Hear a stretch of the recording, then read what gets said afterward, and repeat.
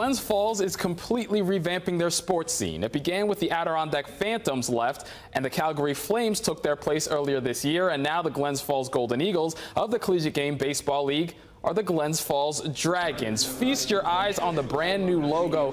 First year owner Ben Bernard felt it was time for a change, and a trip to Cooper's Cave helped him come up with the team's new identity as the Dragons. In addition to the new logo, the team has bolstered their coaching staff, adding former Major League pitchers Jon Matlack and Dave Palmer. Palmer, who is a Glens Falls native. It gives you instant credibility um, because they're well-respected names. Um, you know, they're well known in the area and they're well known, you know, at the at the professional level. It's just great to be back in this area and giving back, you know, to being able to coach at my old high school, Glens Falls, and now to be able to help out with the summer team.